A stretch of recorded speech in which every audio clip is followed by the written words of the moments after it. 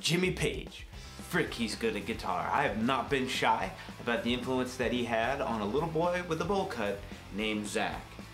Uh, he's far from perfect musically or personally, but with that aside, the level of confidence and swagger that he displays each and every time that he picks up the guitar is impressive. I am Zach Hval, singer, songwriter, guitar player extraordinaire, and today I want to talk to you about his first and to date only solo album called Outrider.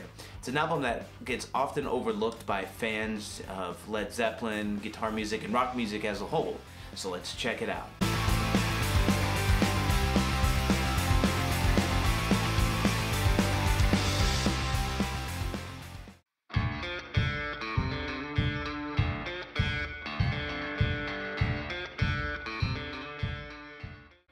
With the death of John Bonham, Led Zeppelin disbanded in 1980. Page's time in the spotlight, however, was far from over. He would perform at a Jeff Beck show in March of 1981 and form a supergroup called XYZ with Chris Squire of Yes and drummer Alan White. Nothing but a few bootlegs ever materialized out of this group, though. Page would contribute to the Death Wish 2 soundtrack. He would also reunite with a variable who's who of musical friends like Eric Clapton, Crosby, Stills, and Nash, and the Rolling Stones for their 1986 single One Hit to the Body. He would also finally get sober from heroin during the early 1980s. Also during this time, he purchased Sol Studios from English producer Gus Dudgeon. It was in Sol Studios he would produce music for the Death Wish 2 soundtrack and some songs for the Death Wish 3 soundtrack. He would also record Outrider here.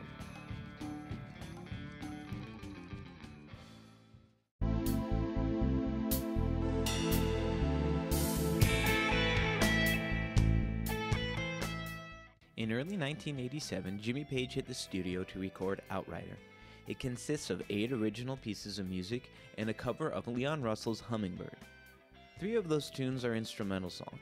It sees Page reunite with Robert Plant on the song The Only One. It also features John Bonham's son, Jason, playing drums on seven of the tracks. As far as gear Page used, I couldn't find what he used specifically on this album, just what he was using during this time period and the subsequent tour for the album.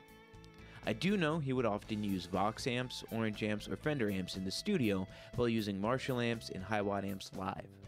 I would imagine an AC30 was used on this album as I've seen him use that live uh, during this time period. It could also have been a Vox UL 4120 hybrid amp head. He has mentioned using those in the studio as well. He used a lot of amps, so it's hard to say with any degree of accuracy what was used here. As far as guitars for Outrider, during this period he mainly seemed to use his number 3 Les Paul, the 1969 Les Paul Deluxe, with a Parsons and White B string bender. At least that is the Les Paul he used on the Outrider tour.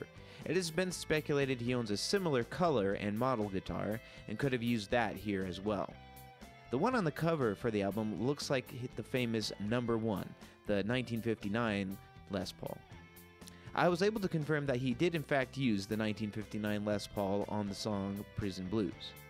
Also during this time, Page would be seen using a 1953 Botswana Brown Fender Telecaster featuring again a Parsons and White B string bender. A fun fact about this guitar is that the rosewood neck from the legendary Dragon Telecaster replaced this guitar's original maple neck. The acoustic guitar was likely a 1972 Martin D28. He used that on Led Zeppelin 4 and subsequent albums and live performances from Led Zeppelin 4 on up. He's also credited as playing synthesizer on the album as well.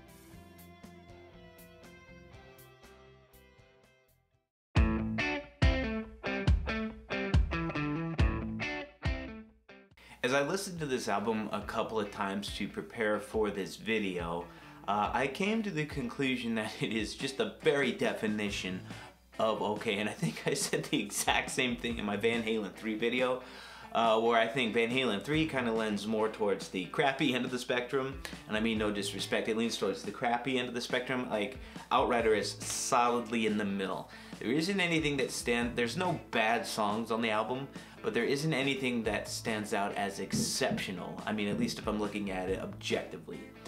Um, I mean, it's kind of what you would expect from Jimmy Page, just epic riffs, and awesome guitar solos. I mean, for all the critiques that he gets as a guitar player, at least we can all agree that Jimmy Page has got the riffs and rhythm thing down to a science, and it's on display here.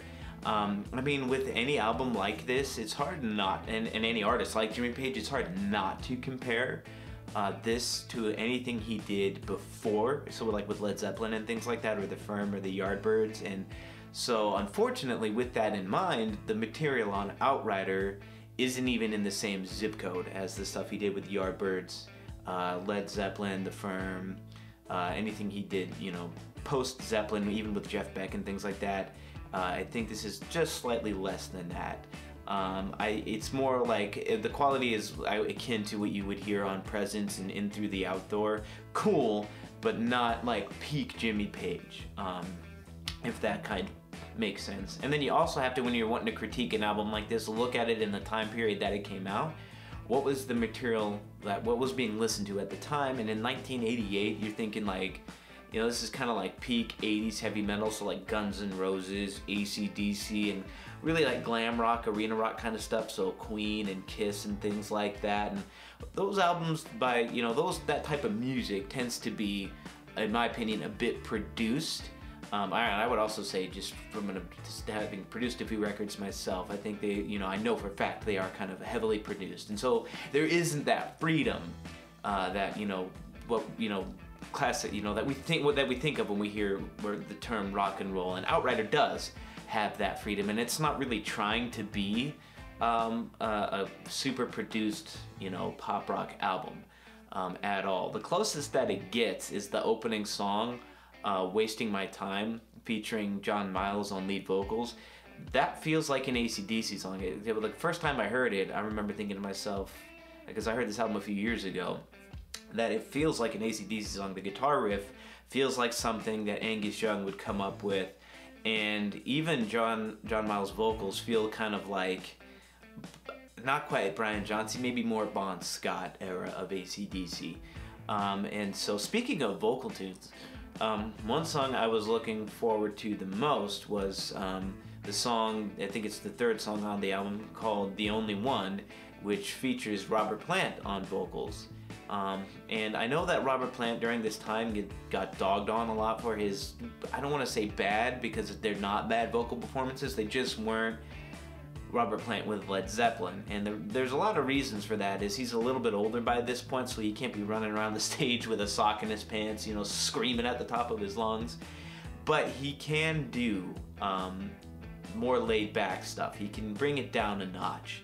Um, a good example of that would be even with Led Zeppelin. Um, you know, from Led Zeppelin 2, what is and what is and what should never be is a very laid back vocal performance uh, for most of the song. And then even later on, the stuff he would do with Alison Krauss, he can do laid back. So I'm not exactly sure if that's what he was going for here. It just it didn't land with me, is what I'm trying to say. Um, it just felt like he was uninterested in what he was singing, and even when he's doing laid back vocals, uh, he's there's a passion to it, and I just didn't get that from him here on this song. And even the instrumental songs, of course, it's Jimmy Page. Like he's the riff master general, right? So there's there's some interesting ideas there, but there's they don't have anything to say. There's not a lot of substance to these things, which is a misstep when you're doing a track without any vocals or anything like that. Um, and you're really kind of thinking more of a mainstream rock audience that maybe isn't musically inclined like it's hard to grab somebody's attention and keep it there. So when you're building an instrumental track, that's kind of one of the things you want to keep in mind. And um, again, interesting ideas, but not a lot of substance. If I had to pick um, a standout tune, I would pick Prison Blues. Um, uh, Jimmy Page very clearly excels in a blues format. He just gets it. Um, and with this, he knows how to punctuate those vocal lines. He's doing the call and response thing. And of course, the licks are awesome. The soloing is awesome on this song. Uh, it's a highlight for sure. And uh, interestingly enough, that's also when the album kind of shifts tone a little bit. And I think, it, oddly enough, it gets better. um, but I think had they kind of stuck with the same kind of ideas and as far as how the songs sound and like the the lyrics and the composition and things like that of the from Prison Blues to the end of the album.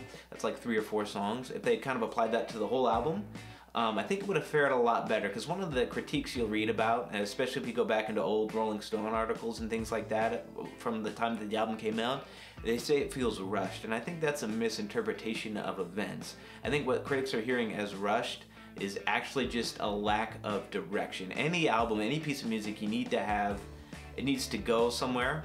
Um, and um, so I don't, there's not a lack of cohesion between songs. It feels like he just had a bunch of material and a bunch of friends willing to record this material with him. And so they kind of just, you know, they just, you know, they did it. But it's not rushed because a lot of care went into the production and the sound uh, of everything. And that's evident and it feels loose but it doesn't feel rushed to me. Rushed implies that there was a level of haste and things got forgotten. And that's very clearly not what is happening on Outrider. I guess to summarize my thoughts on Outrider, it's not as bad as like critics and fans say.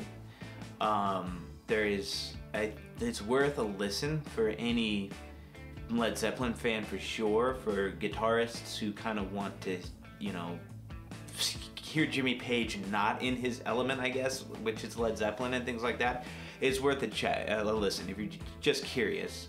Um, again, I mean, if nothing else, at least check out the track Prison Blues. Um, the vocal performance on that, I forget the singer's name. Editor's Act, put it like right here or right here, something like that.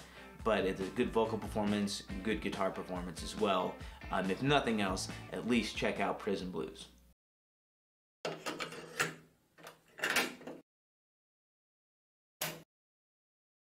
This is one of those circumstances when even the artist doesn't really have much to say in defense of their work. In an interview with Uncut Magazine in 2009, Page said of the album, Outrider's alright. It's demo like compared to those overproduced albums that came out at the time. It didn't do very well, doesn't matter, but I did tour. I was playing music on that tour going right back to the Yardbirds. Jason Bonham was the drummer on that tour honestly, it seems like the Outrider tour did better than the album itself, at least commercially. Um, as I re-listened to the album and, and, poked around Reddit, it's clear that this album is an enigma. People either really love it or they really love to hate it. And it seems to me, um, when I'm reading these comments and reviews and things like that on various corners of the internet, it seems to me that the things that people like about it um, are the things that people hate and vice versa. So it's just a weird experience.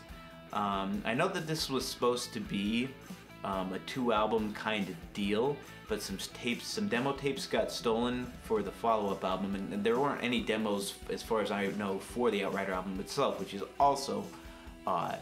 Um, but it seems like every so often Jimmy Page will tease new music, but nothing ever materializes. I know that he, uh, uh, obviously, he goes back about every 10 years or so and remasters the entire discography of Led Zeppelin, which is nice, but I also think a follow up to Outrider would also be nice. Um, I think there is enough love for the album and obviously enough love for Jimmy Page that um, people will eat up anything he puts out. But um, he's mostly quiet these days. I know he did come out recently to play the Rumble at Link Wray's introduction to the Rock and Roll Hall of Fame, but uh, he's basically retired at this point, which is is a shame. But in any case, the reason why we're not supposed to hear this album to just kind of put a pin in this would be its poor critical reception, which is guaranteed to bury any album of this type in the annals of history, but poor critical reception, and Jimmy Page's own kind of laissez-faire attitude about the album, where he's like, "Yeah, I did it. Uh, there it is. Listen to it, don't listen to it. I'm gonna produce poetry records for my girlfriend or occasionally show up at live events related to Led Zeppelin. But that is, in my opinion, why we're not supposed to hear this album. And that is Outrider by Jimmy Page, plus some of my thoughts on the album. Let me know what you thought of the album if you've listened to it. Leave a comment down below. Also, maybe if you saw the tour uh, in the late 80s for the album. I'll be very curious to hear some of those stories as well. Thank you so much for taking the time to watch this little uh, video. Watch me geek out about one of my guitar heroes. It really does mean the most. I would appreciate it if you would like the video, share it around with your friends, leave a comment. It does help me skyrocket through the algorithms, as it were. Would also appreciate it if you would consider subscribing to the YouTube channel for videos like this, guitar lessons. Another benefit of subscribing to my YouTube channel is that you get to hang out with me each and every Tuesday night for a musical hangout, the live music experience that the, everybody in the new year is talking about, let me tell you.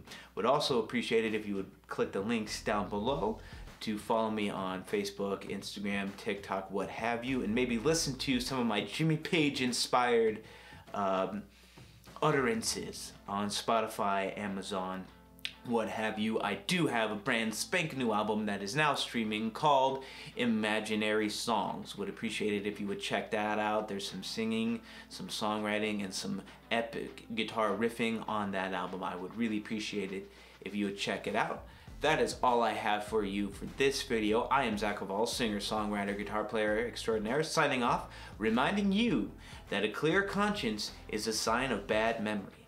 Bread is bread, cheese is cheese, praise God. Hallelujah. Hallelujah.